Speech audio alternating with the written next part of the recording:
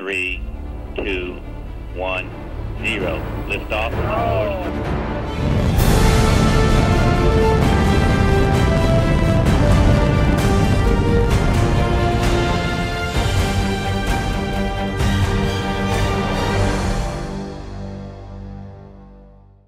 as they exist today.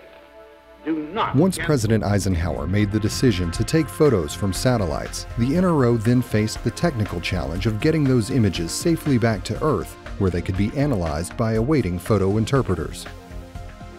An ingenious and rather simple solution emerged. Drop the undeveloped film in a bucket and have an airplane snag it in midair before it's splashed into the sea. You're looking at an object that's going about 200 feet a second. This is the story of the bucket catchers and their historic last KH-8 Gambit catch in April 1986. I mean, I felt so much pressure. Don't mess up, this is your chance.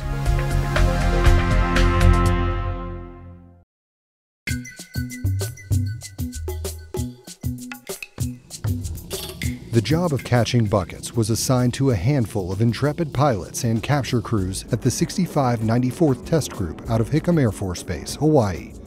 They called themselves the Starcatchers, and their aircraft was the JC 130. It was an elite assignment. Somebody usually had to will it to you, or you know, somebody had to die for you to go into that squadron. Between 1963 and 1986, with the exception of just a handful of lost buckets, the Starcatchers snatched and grabbed nearly 170 buckets. In the sometimes chaotic world of catching valuable film free falling from space, practice makes near perfect. To stay in the lineup and to move up in the order on who would get the next catch, you had to have a, a 90% uh, uh, success rate. Actual practice system was a shell. It was loaded with concrete, Yeah. and uh, that was used as a temporary weight. It was very competitive. I mean, they wanted you to do well. I mean, well, on practice, but it was always, oh, so you missed one, or it just splashes into the water. So, it- She sleeps with the fishes. yes. The sensation of snagging a bucket out of thin air was unforgettable. Well, you, you first felt this parachute that you went over because it, there's a burble of air right on top of the, chute, so you feel a little bump. Then you kind of feel the airplane pull backwards a little Yeah, bit. yeah. And the winch basically takes out a lot of the, the, the suddenness, so you don't have a huge Mm-hmm. uh, change of airspeed or feeling like that, but you know you've, you've got something out there. But with the advent of digital imaging in the 1980s, the days of bucket catching were numbered.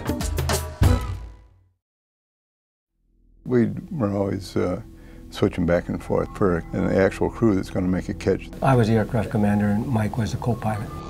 One airplane would go out very early, like maybe four or five o'clock in the morning, as the telemetry airplane, so that they were tracking the system, and they would be heading up toward um, Alaska.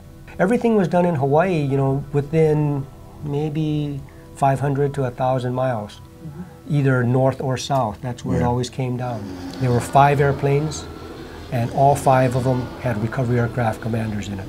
There are two more uh, airplanes out there with uh, air refueling capability, and there's usually at least two or three or maybe four helicopters so that they can bring in the pararescue guys. We were number one, so if we were messing up, then lead would say, you know, okay, number two or whatever, you know, you, you have a try it because we were all stacked at different altitudes. And we saw it maybe around, I don't know, 40, 45,000 feet. It was pretty high up there. We would see the chute, but you could not make a, a pass until 15,000 feet. You know, you're looking at an object that's going about 200 feet a second coming at you.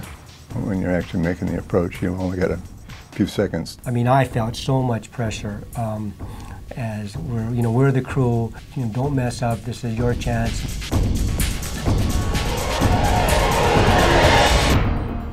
We caught it on the on the first pass. There, there, there was so much adrenaline. Yeah, it, it was very kind of an intense feeling and going, all right, we got it. But it wasn't over yet because now they had to reel it in. And that's a whole different uh, process, and those guys are really good because you have to watch out for the hooks and everything. But once it was on board, said, like, you got the airplane. I got to go back and, you know, touch it.